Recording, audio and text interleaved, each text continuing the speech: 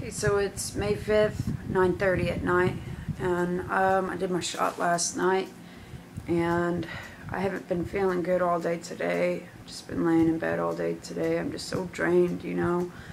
It's like I have a hard time keeping my breath, um, catching my breath, because it's like, um, I guess since my blood is low, is always low, it makes it harder for me to breathe too. But uh, I did want to talk about how um, I've been on my antipsychotic for two weeks now. It's called Zyprexa.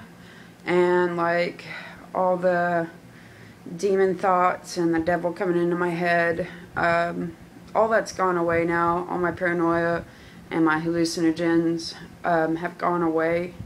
And I, I think it's really these treatments that were doing that to me. It was starting to freak me out. But um, another thing is like my mouth is so sore anymore.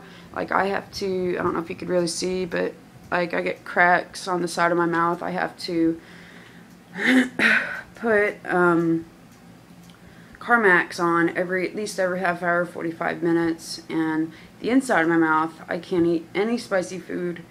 Um, I'm pretty much, I just pretty much eat bland food all the time now. And they gave me this stuff at the pharmacy called Mary's Magic. And um, it's been helping some, but it's like when I smoke cigarettes, drink Sprite, anything, it burns the hell out of my mouth. And I don't know, I just have to eat bland foods all the time now, so I'm eating a lot of oatmeal and peanut butter sandwiches and drinking a lot of juice and stuff like that. So um, seems like my depression has been really bad past couple days. Um, I only have two more months of treatment left. Um, I know I talked to, I know I talked about, um, I talked to an army recruiter and he said I could join six months after my treatment. So I'm really looking forward to that. I'm just really looking forward to being done with this treatment.